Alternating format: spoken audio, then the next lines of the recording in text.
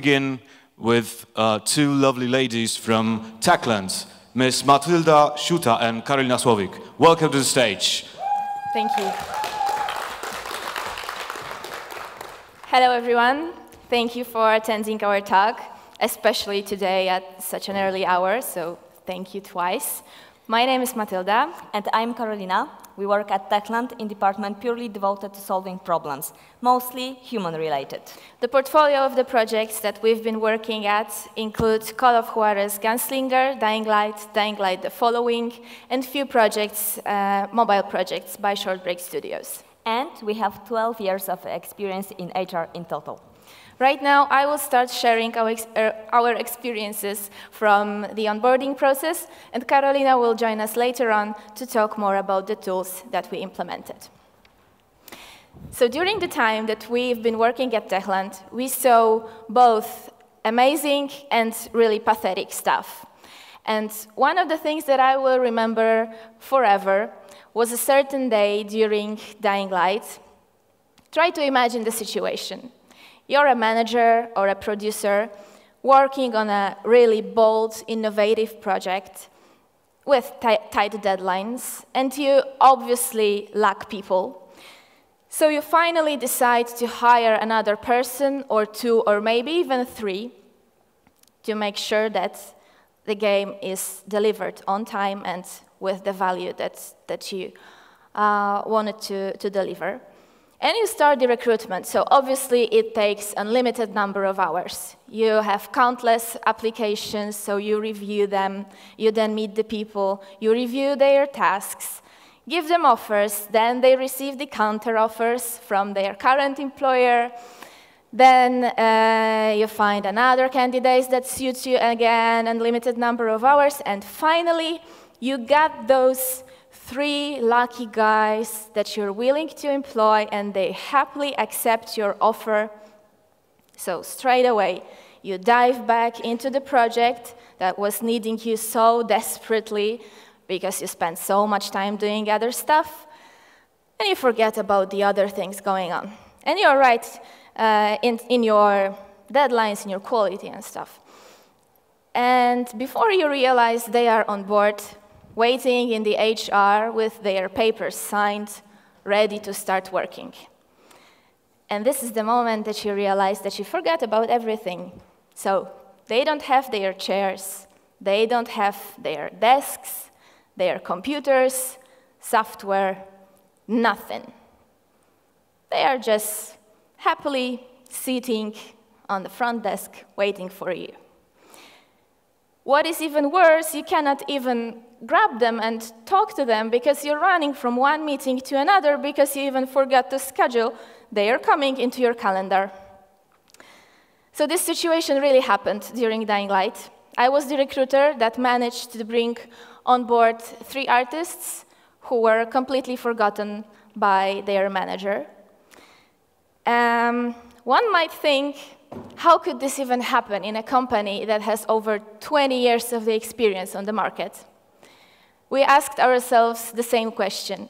And so what we are going to tell you today about is how we found the roots of this problem, what we did to avoid that kind of situation, and what you can actually grab from our experience. So the takeaway from this presentation, besides funny stories about how Techland fucked up, will be four easy, effortless, and costless tools that you can create for yourself and start using them even tomorrow. And for really epic wow actions that you can add to your onboarding to make sure that your new employees will look like this. So to start with, uh, st step back to talk more about the methodology that we use and the approach that we decided to uh, take during solving this problem. We used an approach called design thinking. This is the approach that basically allows you to create new and uh, creative solutions and economically justified, and that's important in that kind of business, obviously, uh, for so-called wicked problem. So the wicked problem is the problem that has more than one good solution. So our problem was definitely wicked. And basic, there are two basic assumptions of design thinking. The first one uh, is an interdisciplinary team. So design thinking believes that uh, an interdisciplinary team can give you more input and more creative outcome than uh, a team that is looking at the problem from the same perspective. So this is quite obvious. So uh, we implemented this assumption by putting together leads from various fields in the production. So uh, lead artists, lead programmer, lead level designer, uh, lead animator, and at the same time, people from HR, IT manager. So the people who basically had anything to do with onboarding, uh, or they were lately onboarding a new person. And they were just sitting together and drawing down a map of how our onboarding process looked like. What steps did we take? And, um, well, no wonder we thought we were doing great. We didn't need any, anything to be approved or, or just made better. It was cool. At the same time, we hired an, an external agency to talk to our newcomers because design thinking as well focuses on user experience. Uh, so the agency was talking with the people that we uh, hired at nine months or earlier ago. And uh, they were basically asked about their uh, expectation, expectations towards recruitment and onboarding and how the reality at Techland looked like. So what they wanted and what they saw. The questions were mostly around, did they feel good? Did they, uh, did they know everything? Were they informed? Uh, so the basic stuff about each step of, um, of the onboarding. And this is how we drew the newcomers experience map. So it showed us each step that we take during the onboarding and the feeling of the newcomer if they were happy or sad. I'm going to show you this map in a moment. It's not sexy at all. Basically, it looks, it looks, it looks sorry, um, really ridiculous, but it worked for us. I mean, it showed us where are the areas that um, people care about, but we didn't even know it. So we couldn't improve anything because we weren't aware of their expectations. So let's take a look.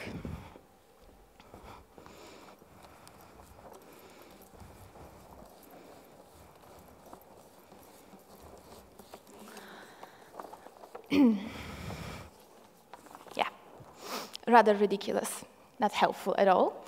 Uh, in, the previous, uh, in the previous iteration of the, of the map, we even had happy and sad faces on each face so that we knew if the onboarded person was happy with the stage or not. As I said, not, uh, not well, user experience of that is not really cool. Uh, but for us, it was working due to the fact that we get to know the expectations that we didn't uh, know about before. So we were able to start fixing stuff and to start making our onboarding more friendly, professional. Various, various ideas can be applied here. and the first conclusion that came up from this analysis and also from observing just everyday life in the office was the fact that producers had too much to do. So they were busy while reviewing the stand-ups and the sprints with their teams. They were busy making sure all the Excels put together are working good. Uh, they were busy also making sure that the team that's working on, let's say, adding more fun to slashing zombies is working towards a good direction. And at the same time, their people were coming to them saying that there are too little people in the team and they need to recruit more, that they are not motivated or they need a rise, or they are not satisfied, or maybe they are super satisfied and they want to add more to, to the project or to the team. And obviously, people are always thinking about their personal development, so they were asking about advices about the paths that they should take during their development. So that's a lot for one person. And we decided just simply that it's too much.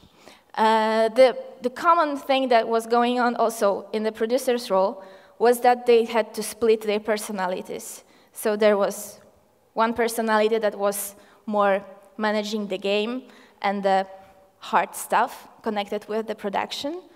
And at the same time, there was this softer one that had to take care of their people. And no wonder that during any milestone or finishing any part of the game, always this hard one won over, over the soft one. So the people suffered. And this was not acceptable for us. So we decided to do a big change in Techland to split those two roles into producers and people managers position.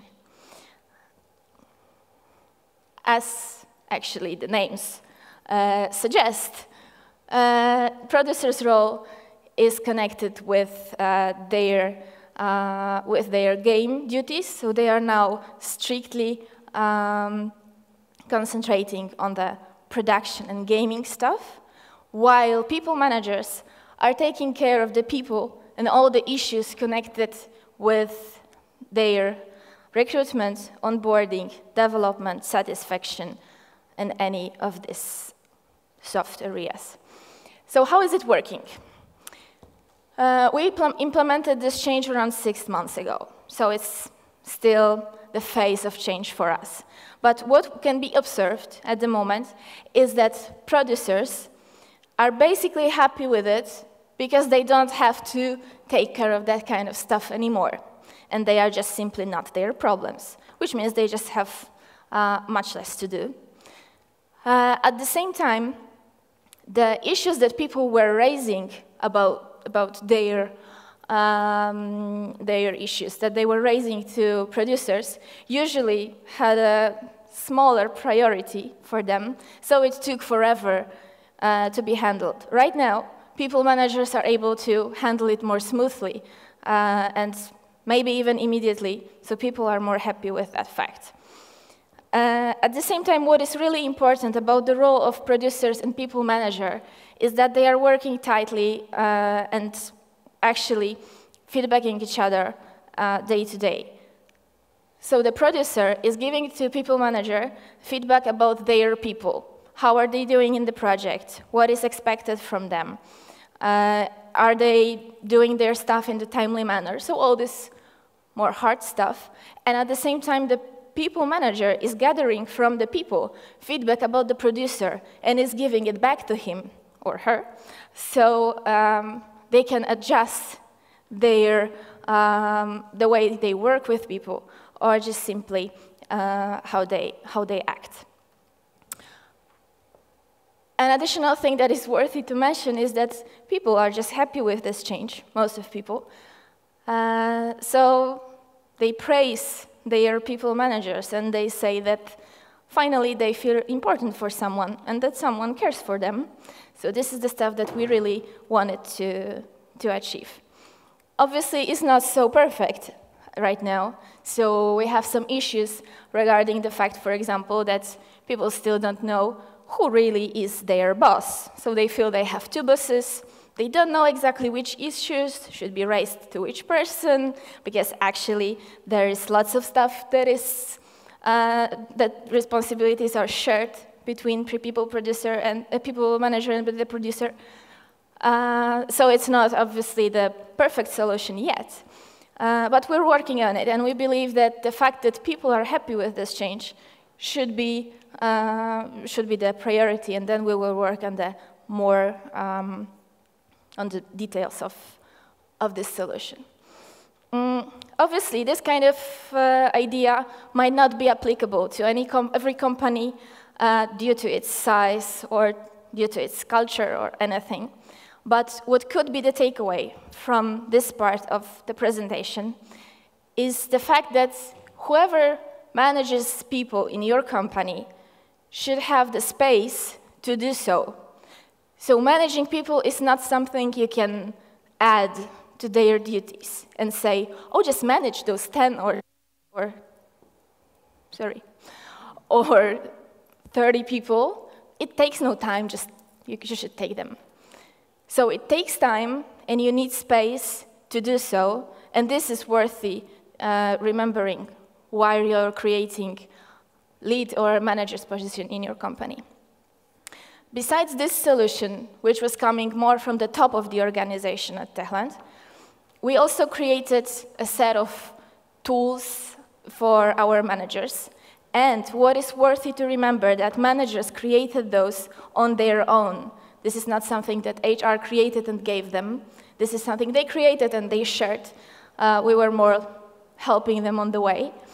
And this set of tools help them to organize reality or just help them to remember about even basic stuff to avoid the kind of situation I've mentioned before. So now Karolina is going to talk, you, talk us through those tools we implemented. Thank you.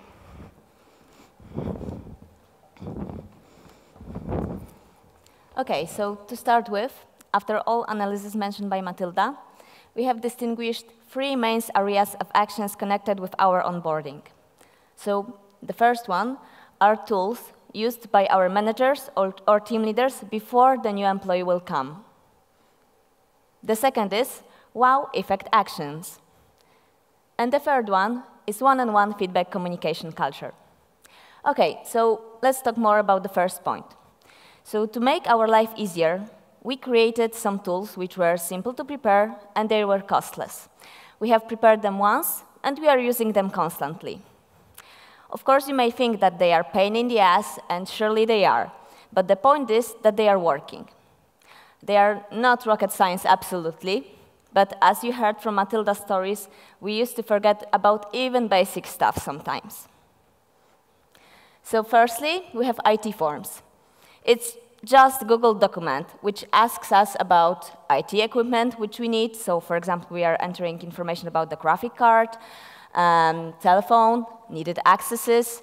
Um, for example, before the concept artists come to our company, we are asking about the preferred hardware so they can choose the tablet of their choice. And after that, it's sending to IT guys and administration. So that's the IT forms. Next, managers' checklists.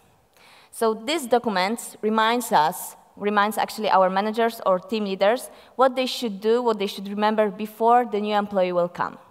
So, assignation body. So, helpful senior person from the team who will be usually the first contact point for the newcomer.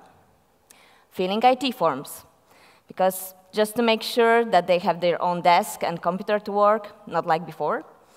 Um, scheduling start date in their calendar, preparing team building events for the whole probation period, uh, gathering necessary documents with substantive goal for the whole probation period, and telling to the team about the newcomer. We are mentioning the responsibilities, duties, start date, position, few more words optionally about the experience. So that's the manager's checklist. Next thing, email simple, universal template. Uh, our managers and team leaders find it really useful. We gathered here, uh, here all necessary information like telephone numbers, um, IT contact when VP is down, body's contact where he or she doesn't know where to poop, believe me, real work-life situation. Um, administration contact when he or she needs extra plant on his or her desk when he needs extra whiteboard, or just to remove that guy who is sitting next to your desk. Again, those examples are real ones that has been sent to our administration.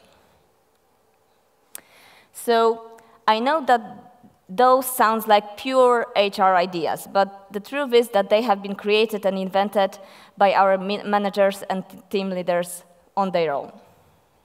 So next point is wow effect. What does it mean?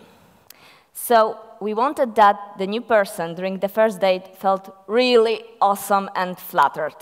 That after the day, he or she may say, oh my God, it was really super Californiasticious expialidocious day. Every day could be my first day at Techland. So how to achieve that? We have welcome back. So this is just the back, of course, Lash, Bidon, and Skipas. Those gadgets are a kind of must-have for new employee because all of us has them. Next thing, handbook. First day is usually very hard for the new employee. Many faces to memorize, a lot of stuff to remember, formalities and documents to sign. We understand that totally. That's why we have created handbook, where in one place we have collected all necessary information about the company. A little bit about the history, our previous projects, games, benefits, office lives, it's also useful when we forget also to tell something uh, to the newcomer about, for example, development budget. So on the slide, you can see the example first pages. To see more, of course, you should join Techland. And cream de la cream, lunch. Believe me or not, but during the Dying Light project, people didn't know each other, even working in the same team we tried this really ridiculous procedure to introduce everyone to every team, to every person, but it was really, really creepy. It was like, hello everyone, this is Mike, Mike is a junior programmer, say hello to Mike. And nobody wanted to say something, and it was just like, blah.